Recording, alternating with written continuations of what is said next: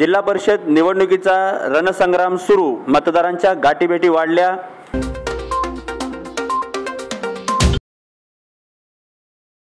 जिल्ह्यात जिल्हा परिषद पंचायत समितीच्या निवडणुकीचा ज्वर चढला असून पक्षाचे तिकीट मिळण्यासाठी नेत्याच्या अवतीभोवती कार्यकर्त्यांचा गराडा वाढला आहे. नगरपंचायतच्या निवडणुकीनंतर देवेंद्र फडणवीस यांचा मनसुबा मजबूत झालेला आहे. आणि म्हणूनच एकंदर पूर्ण महाराष्ट्रामध्ये जिल्हा परिषदेच्या ज्या निवडणुका होत आहे त्या निवडणुकीमध्ये भारतीय जनता पार्टीला कितपत यश मिळेल ते जाणून घेण्यासाठी आम्ही मरखिल्या मतदारसंघात आलेलो आहोत.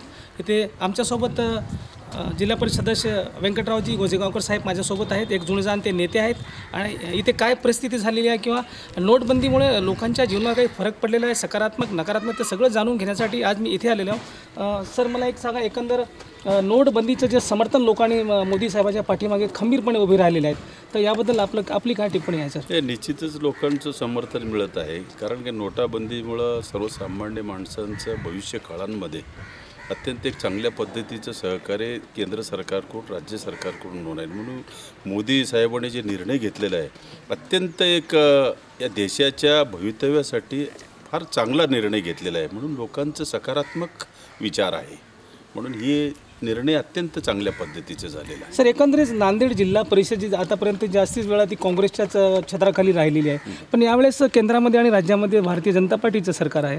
तर यावेळेस चित्र नेमकं कसं दिस दिसते सर आपण ते निश्चितच नांदेड जिल्ह्यामध्ये नांदेड जिल्हा परिषद ही भारतीय जनता पार्टीच्या पक्षांच्या हाती येणार आहे. लोकांचं जसं सकारात्मक विचार आहे आणि परिवर्तनवादी लोकांचे विचार असल्यामुळं निश्चितच ग्रामीण भागाच्या लोकांनी निर्णय घेतलेला आहे की भारतीय जनता जनता पार्टीने जे जे जे काही उमेदवार देतील त्यांच्या बाजूनं शंभर टक्के विशेषतः या मर्केल परिसरातल्या लोकांनी ठरवलेलं आहे की यावेळेस या जिल्हा परिषदेमध्ये या भागाचा भारतीय जनता पार्टीचा सदस्य निवडून देण्यासाठी त्यांनी विचार केला फार मोठा कार्यक्रम काल या ठिकाणी झालेला आहे. जवळपास पाच हजार लोकांची उपस्थिती या ठिकाणी होती. म्हणून भारतीय जनता पार्टीच्या या नांदेड जिल्हा परिषदेमध्ये निश्चितपणानं सत्ता येणार आहे हे निर्वत अ, सत्य आहे असं मला वाटते. सर दरवेळा काँग्रेस केंद्र सरकारच्या विरोधात मोर्चे काढतात. ते म्हणतात की लोक परेशान आहेत खूप त्यांना तकलीफ होत आहे. पण ते जेव्हा मोर्चे काढतात तेव्हा त्यांचे फक्त काही मोजकेच कार्य जनता का त्यात सामील होत नाही त्यांच्या मोर्चामध्ये कधी हे कसं आहे विरोधी पक्षांचं कामच असते. सरकार जनता- जनतेत सामील होत नाही, जनता सामील. कशामुळे होत नाही की लोकांना हे पटलेलं आहे म्हणून जनता सामील होत नाही त्याच्यामध्ये. हे त्यांचं काम आहे. विरोधी पक्षांचा आवाज उठवायचं लोकांना सांगायचं. हे त्याची भूमिका. निष्ठावंत कार्यकर्त्यांनी अगोदरपासूनच आपापल्या मतदारसंघात मतदारांच्या भेटीचा सपाटा लावला असून दिवस निघाल्यापासून उशिरा रात्रीपर्यंत गाठीभेटी घेत आहेत. सामान्य लोकांच्या सेवेसाठी मी या क्षेत्रामध्ये उतरलेले आहे. सामान्य माणसाला त्रास होणे साधं साठ वर्षाचे विषय असू दे नाली रस्ता सामान्य लोकांना त्रास होणे गावचा विकास व्हावा. माझ्या मतदारसंघाचा विकास करावा या उद्देशाने मी या क्षेत्रामध्ये आलेलो आहे. त्या नोटबंदीमुळं जनसामान्यांचं फार नुकसान झालेलं आहे सर? आता मोठे राजकारणी लीडर लोक कुठं बँकेच्या लाईनला तुम्ही बघितलेत का?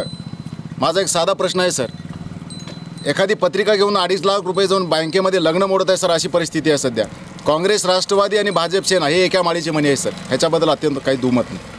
चावडी मंदिराचे प्रांगण ग्रामपंचायत सभागृह किंवा रस्त्याच्या कडेला जिथे लोक जास्त जमतील तिथे इच्छुक उमेदवार आपापली भूमिका मांडत आहे. देगलूर तहसीलमधील करखेड व मरखेल मतदारसंघात अनुक्रमे भाजपा व काँग्रेस उमेदवार आपापल्या विजयाचे भाकीत मांडत आहेत. करखेड मतदारसंघात काँग्रेसचे निष्ठावंत कार्यकर्ते रामराव नाईक यांनी आपापल्या निष्ठावंत कार्यकर्त्यासह मतदारांना आपापली विकासात्मक वाटचालीची भूमिका पटवून देत आहेत. मी आता करडखेड जिल्हा परिषद मतदारसंघामध्ये आहे आणि माझ्यासोबत काँग्रेसचे ॲडव्होकेट रामराव नाईक साहेब आहेत. एकूणच काय परिस्थिती आहे आणि कशा प्रकारे लोकांचं समर्थन त्यांना मिळत आहे हे बघण्यासाठी मी या मतदारसंघामध्ये आलो.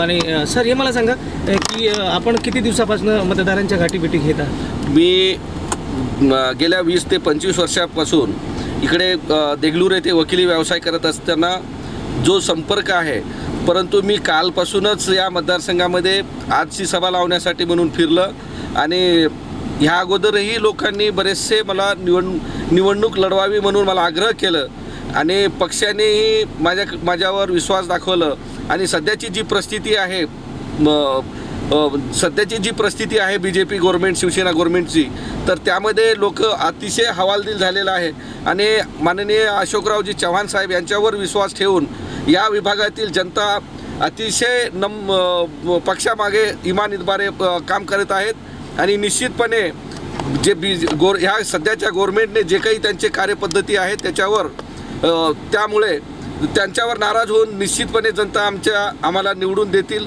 आघाडी घेतलेल्या या दोन्ही पक्षाच्या उमेदवारांनी उमेदवारी निश्चित आहे आणि ते जनसामान्यात मिसळले आहेत. पण इतर पक्षाचे इच्छुक कार्यकर्ते मात्र कुठेच लोकांच्या गाठीभेटी घेताना दिसून येत नाही. मात्र निवडणुकीचा रणसंग्राम हळूहळू सुरू झाला आहे. अमन चौधरीसह ब्युरो रिपोर्ट नमस्कार महाराष्ट्र.